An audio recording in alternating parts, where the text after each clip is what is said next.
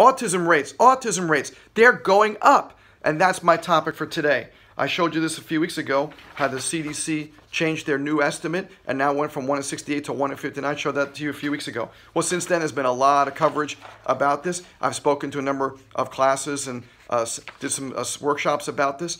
Um, look at this. Uh, from an interesting perspective, kind of making a little twist on this, incidence of autism rises but shows signs of leveling off. I don't think this is leveling off, guys.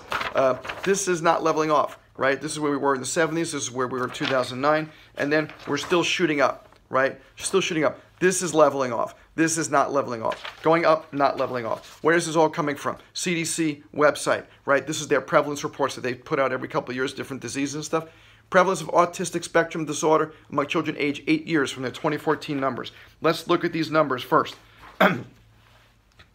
Georgia, where are we in Georgia, right? Uh, Georgia, we're like the middle of the pack, uh, we have a prevalence rate of 17 out of every 1,000 uh, kids has autism. Uh, and the, the New Jersey is the worst for whatever reason. New Jersey is the worst, 29.3 prevalence, 29.3 of every, every thousand. The best just of the 11 sites um, that they measured was Arkansas for some reason, 13.1. Still not great, but certainly an improvement. Got to find out why that is, huh?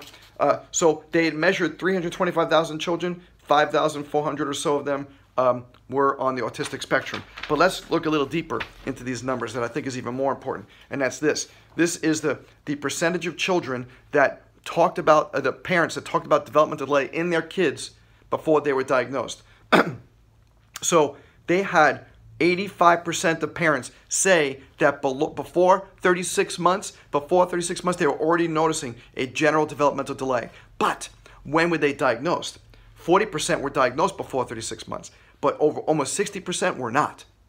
Right? So what does that mean? That means here's the key. The key is that early diagnosis, early detection is the key, right? And why is that important? Because that's what what, what we as pediatric chiropractors is we want to look at kids' brains and nerve systems, right? We I am noticing developmental delays all the time. We had a kid come in here the other day who was crawling funny, right? Crawling funny, you're not supposed to crawl on your rear end, right? That's not right. What that means is your brain is not figuring stuff out, right? You're, you're supposed to be able to, to nurse. You're supposed to be able to do normal things. You should digest food, all these things. We should be able to do all these things. Our kids should be able to figure all this stuff out, but they're not. And that's what we need to detect. Because when we see these early signs of some sort of issues going on, maybe, maybe they might lead to something else later on. And that's what they're talking about. So what we're saying early general developmental delay, that's what they're talking about. We need to be on top of looking at our children and are they developing the right way? Are they developing on a, the trajectory that they ought to be? And if not, we need to think about this. We need to discuss it with the pediatricians,